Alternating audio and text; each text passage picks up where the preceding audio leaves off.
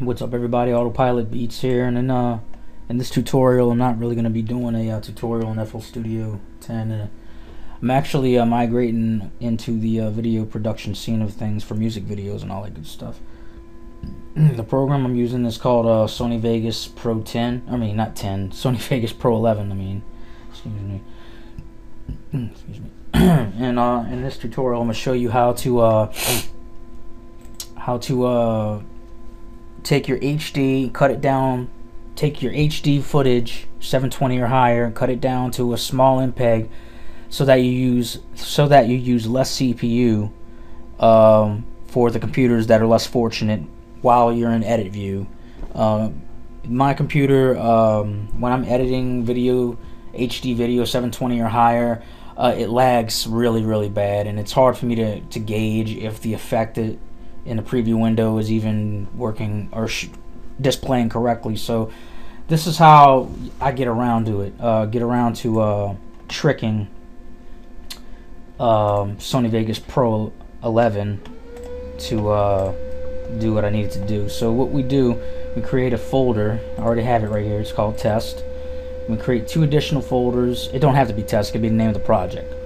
And we uh, create two additional folders within that project, this case test folder. We have HD standing for the original 720 footage or higher, and the, the, the SD for, for standard definition. Did I say? I meant to say high definition for 720 or higher. If I didn't say that. Anyhow, we were gonna what we're gonna do is we're gonna take our HD version, which this would be it right here and we're gonna uh, convert this down to an MPEG and the program I use to convert down is called AVS Video Converter. It's out there on the net. Look for it. It is there. And uh, what you do is you, in the AVS video converter we have two MPEG we want to make sure that tab is highlighted.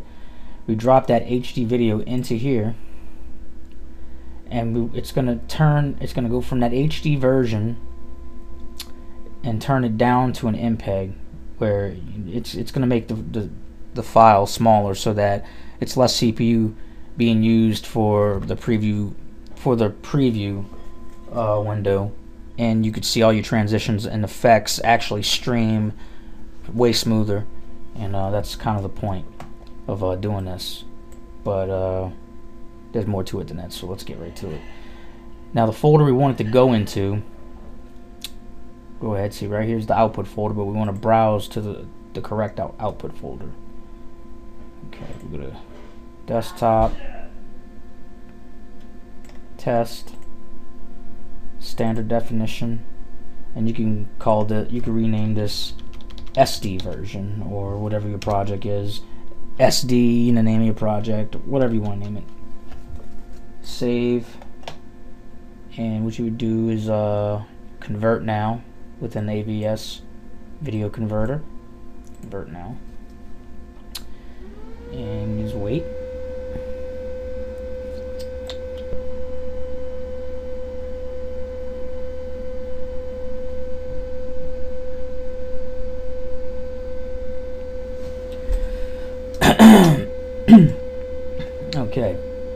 now we got that converted down. If we go back in that folder in the SD folder you'll see it says SD version. And uh, even when you click on it you can see right here at the bottom of the Windows 7 window it, it says movie clip. It's down to 74.6 megs.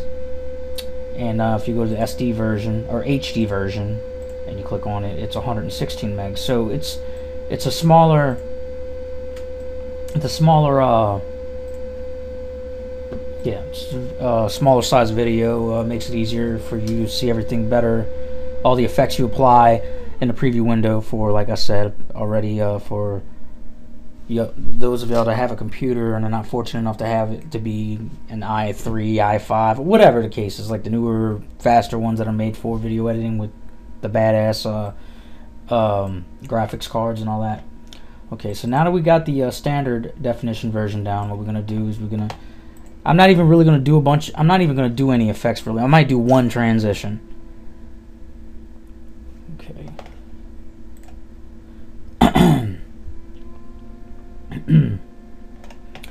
All right, so now we got the uh, project open. What you do is you drop the SD version into there.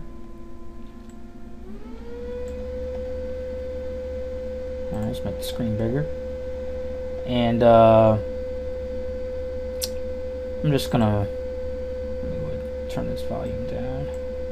I don't want it to interfere. I'm just gonna go ahead and do like a slice here and move it over one. Move it over a little bit. So that we have a bit of a slight transition, whatever thing going on. Yeah, see, there we go right there. Look at the, look at the playback. Transition is a little weird. See, normally, uh, when you have an HD and your computer isn't powerful enough, uh, it would fill this entire uh, this entire preview window, and that that uh that transition right there would lag so bad. So this is the way around it. So we are, we have our standard definition MPEG in here, and basically you can apply any effects you want all over the place. You know, you know, you just kind of experiment around with the effects. Like I said, I'm very new at this, so I don't know all kinds of effects yet. Well, I will have more tutorials to come uh, on that, and uh, mainly uh, what I'm gonna do is I'm gonna try to simplify what other tutorials uh, made, uh, you know, made to be a headache, something that it need to be or dragged out to be. Okay, so what we do is we have that effect, but we don't want to render it down from this MPEG. So we have our little you know, deal going on right there. And uh, what you would do is you would save as, and uh, you would go to desktop, go to test for our test folder, and this is a standard definition version, so we're just going to name this SD whatever and plus or whatever your project is. And uh, here's where the neat trick comes in. Okay, so you X out of that, and we're in our test SD folder. Now to get it to where it, it, replaces back to HD here's the trick. You just take out where it's in the folder the S the standard definition version of the video. Remove it temporarily. You're temporarily move, uh, removing it. Then you reopen the SD version.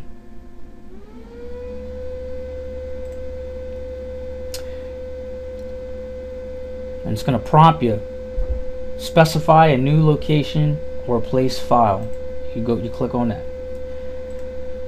Okay you go to desktop you go to where your HD version is. So we go to test. Find our test folder. Oh, it's at the top. One second. I know it's in here. There it is. Test folder. Go to HD you replace it with your high definition. So now it's going to be, it's going to have the full screen. It's going to be in the full screen, but this is the version we don't ever want to edit in. So we just basically reload it in like this.